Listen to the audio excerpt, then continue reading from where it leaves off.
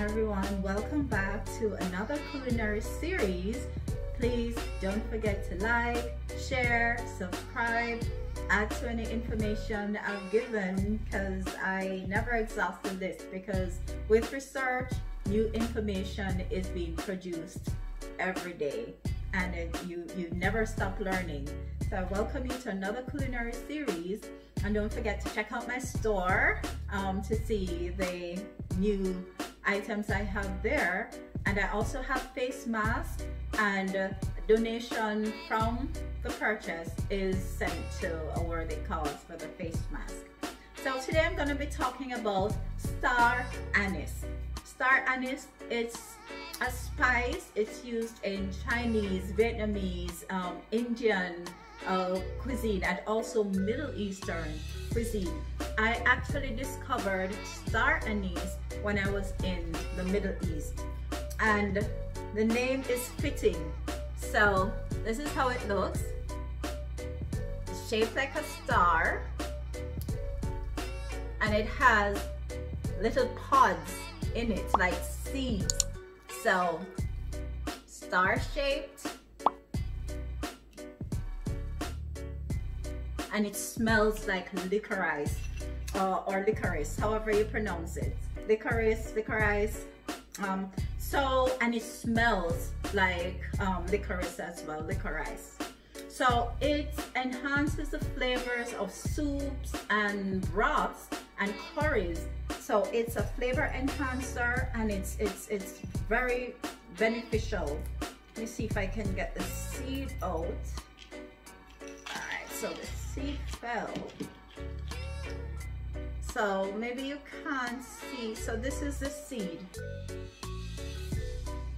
And you can use the whole thing. You can even bake with it. You can make your tea. You can, just like how you make your normal tea, you can actually make tea with star anise.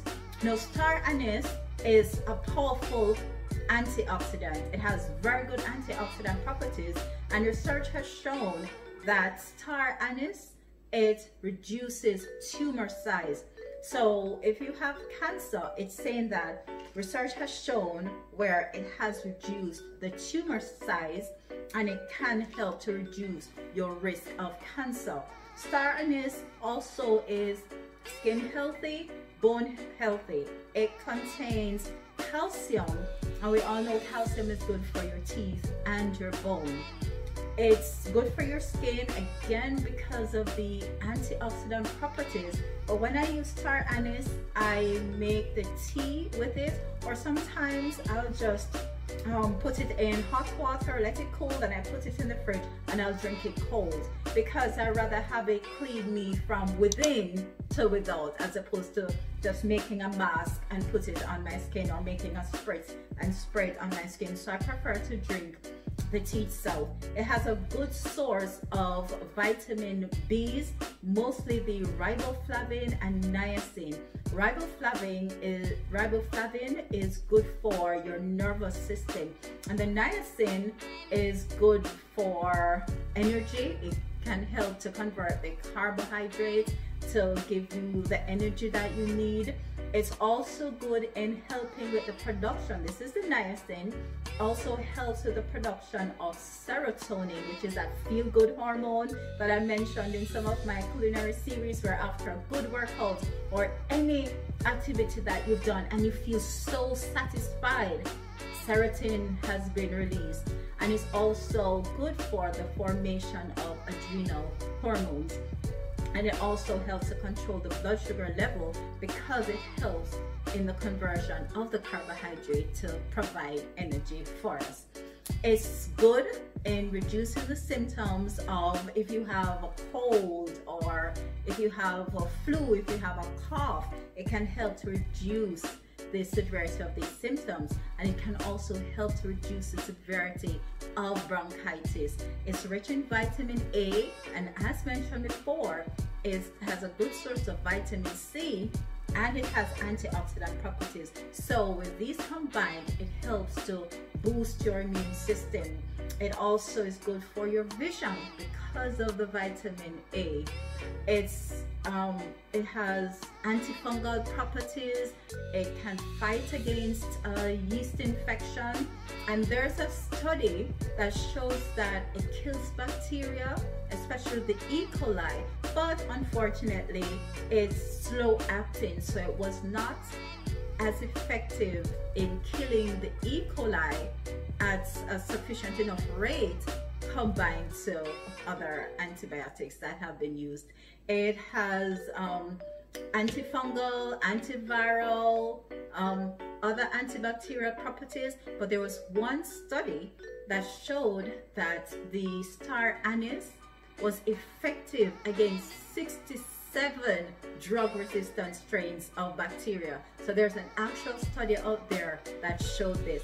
Now, um, star anise helps to reduce anxiety because it has anethole compound. So this anethole compound is what gives this star anise the licorice flavor and that gives it its antimicrobial properties as well. Now star anise also contains shikimic acid. Shikimic acid is a powerful antiviral um, compound and the shikimic acid is found in Tamiflu. So what they do, um, scientists um, produce what we call oseltamivir from the shikimic acid and it is the oseltamivir that's found in Tamiflu but it was produced from the shikimic acid and some study, though the study wasn't long enough, showed that um, the shikimic acid can help to treat um, herpes simplex.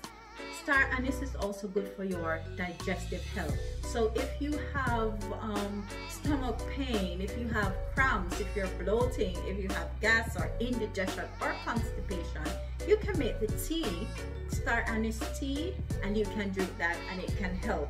I don't like rice and I had rice last night because I didn't want to throw it away and whenever I have rice I feel bloated so I'm definitely gonna have some star anise tea um, today because I, I, hate to feel bloated so these are um, all I have another thing with star anise if you it, it can help to give you that youthful tight firm skin because it boosts collagen production and research has shown. So star anise can improve and boost collagen production, which is what gives you that firm, tight, tone looking skin.